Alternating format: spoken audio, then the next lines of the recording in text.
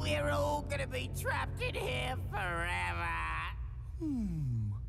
I think I can get through the gaps.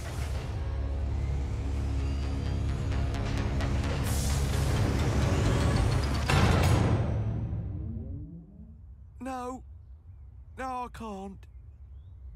Help.